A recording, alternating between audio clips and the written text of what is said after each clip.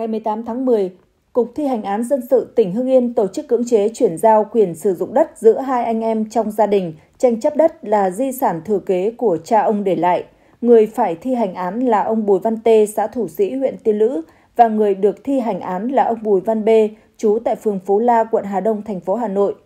Căn cứ bản án sơ thẩm số 05 ngày 24 tháng 6 năm 2021 của Tòa án Nhân dân tỉnh, bản án phúc thẩm số 374 ngày 7 tháng 12 năm 2022 của Tòa án Nhân dân cấp cao tại Hà Nội, ngày 8 tháng 5 năm 2023, Cục trưởng Cục Thi hành án dân sự tỉnh đã ban hành quyết định thi hành án số 342.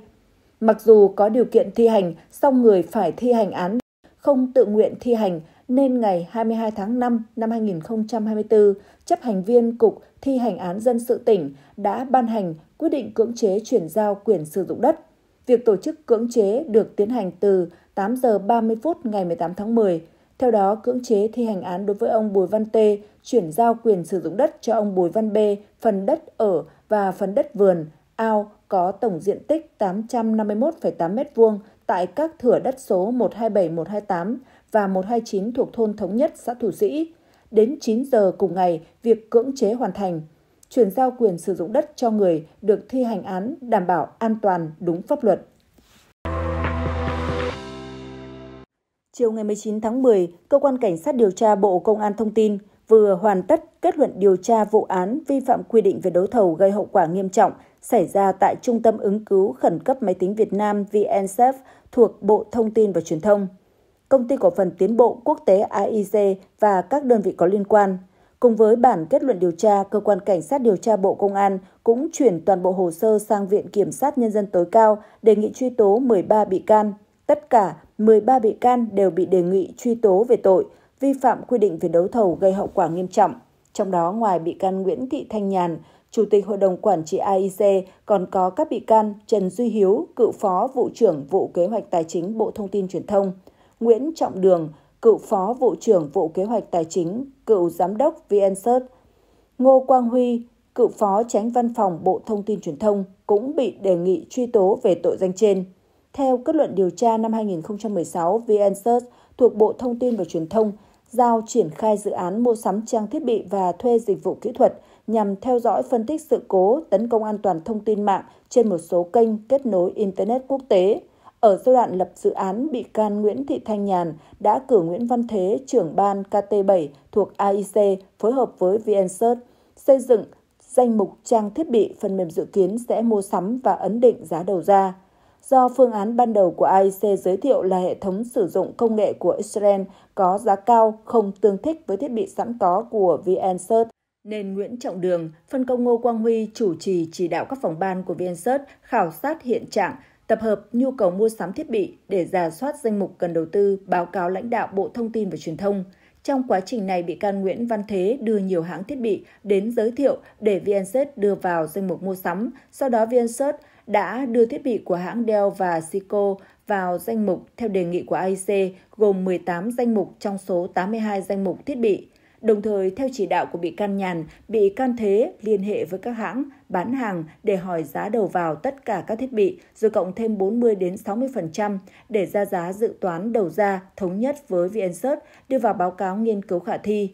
VnSearch đã sử dụng danh mục dự toán trên, hợp thức các gói thầu tư vấn để vụ kế hoạch tài chính thẩm định trình lãnh đạo Bộ Thông tin Truyền thông phê duyệt, hợp thức tư vấn thẩm định giá để VnSearch phê duyệt dự toán, triển khai đấu thầu, thiết lập quân xanh quân đỏ giúp AIC trúng thầu theo danh mục và giá đã thống nhất từ trước gây thiệt hại hơn 17 tỷ đồng cho ngân sách nhà nước. Đây là vụ án thứ năm mà bị can Nguyễn Thị Thanh Nhàn có liên quan sau hàng loạt các sai phạm liên quan tới đấu thầu tại một số tỉnh, thành phố những năm qua. Ngày 20 tháng 10, Công an thành phố Hà Nội cho biết một người phụ nữ ở quận Tây Hồ, Hà Nội đã bị mất gần 3 tỷ đồng khi cài đặt phần mềm dịch vụ công giả mạo. Nạn nhân là chị T sinh năm 1981, trú tại Tây Hồ, Hà Nội. Trước đó, vào ngày 15 tháng 10, Công an quận Tây Hồ nhận được tin trình báo của chị T trong đơn, chị T cho biết trước đó chị nhận được điện thoại của một đối tượng giả danh cán bộ công an yêu cầu cài đặt phần mềm dịch vụ công giả mạo. Sau khi cài đặt xong, chị T phát hiện tài khoản ngân hàng bị mất gần 3 tỷ đồng nên đã đến cơ quan công an trình báo.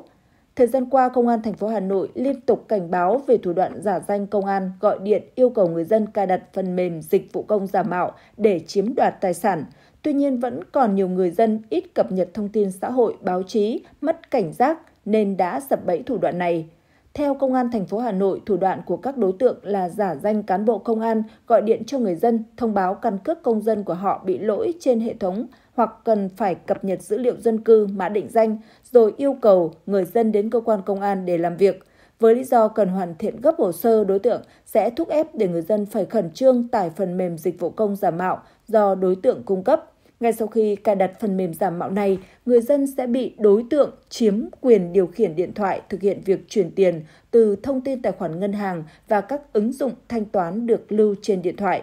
Để phòng tránh lừa đảo, Công an thành phố Hà Nội đề nghị người dân cảnh giác trước thủ đoạn trên, tuyệt đối không cài đặt các phần mềm ứng dụng theo yêu cầu của các đối tượng lạ gọi đến. Nếu cài đặt phần mềm giả mạo có nguy cơ sẽ bị chiếm quyền điều khiển toàn bộ điện thoại.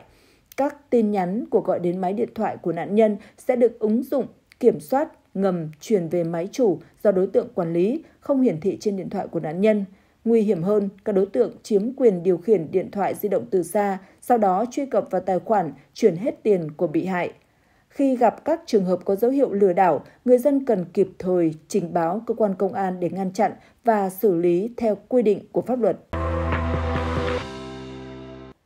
Những ngày này, thông tin đường dây tín dụng đen hàng trăm tỷ đồng tuyên bố vỡ nợ khiến nhiều làng quê vốn yên bình tại huyện Quỳnh Lưu dậy sóng.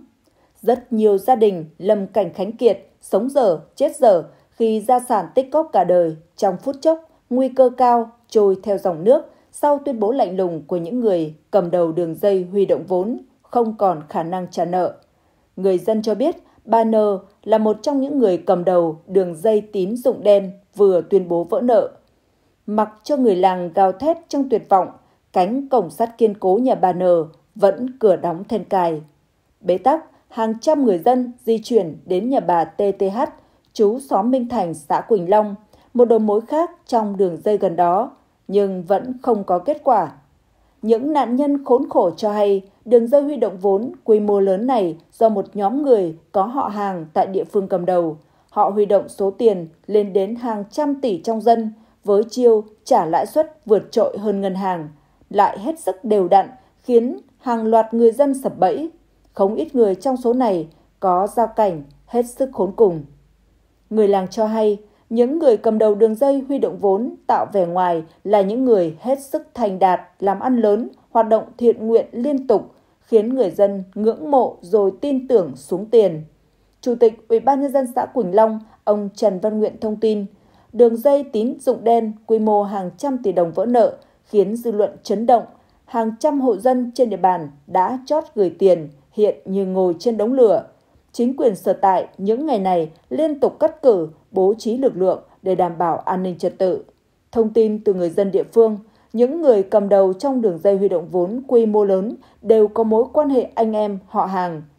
Những ngày trước khi thông báo vỡ nợ, họ liên tục gọi điện, thậm chí tìm đến tận nhà người dân nhiều xã khác nhau tại huyện Quỳnh Lưu để huy động số tiền lượng lớn. Sau đó tuyên bố vỡ nợ, cùng lúc khiến hàng trăm hộ dân chết đứng. Phó Chủ tịch Ủy ban nhân dân huyện Quỳnh Lưu, ông Nguyễn Văn Thưởng cho hay, chính quyền đã giao lực lượng công an huyện vào cuộc sau khi nắm được thông tin. Nếu có dấu hiệu lừa đảo chiếm đoạt tài sản sẽ khởi tố vụ án, xử lý nghiêm.